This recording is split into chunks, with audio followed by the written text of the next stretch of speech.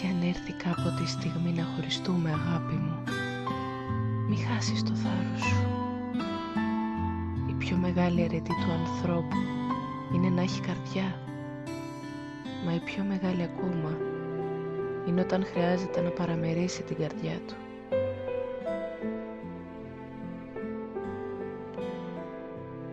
Την αγάπη μας αύριο θα τη διαβάζουν τα παιδιά στα σχολικά βιβλία πλάι στα ονόματα των άστρων και τα καθήκοντα των συντρόφων.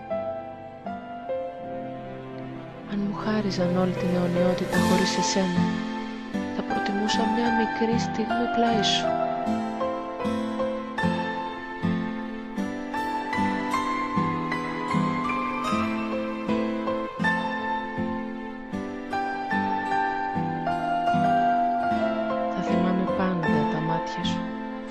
Φλογερά και μεγάλα, σαν δύο νύχτες έρωτα, μες στον εμφύλιο πόλεμο.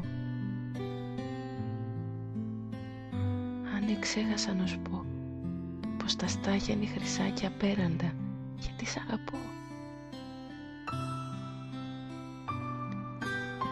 Κλείσε το σπίτι.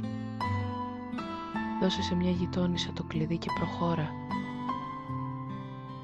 εκεί που οι φαμίλιες μοιράζονται ένα ψωμί στα οκτώ εκεί που κατρακυλάει ο μεγάλος ίσκιος των τουφικισμένων σ' όποιο μέρος της γης, σ' όποια χώρα. Εκεί που πολεμάνε και πεθαίνουν οι άνθρωποι για ένα καινούριο κόσμο. Εκεί θα σε περιμένω αγάπη μου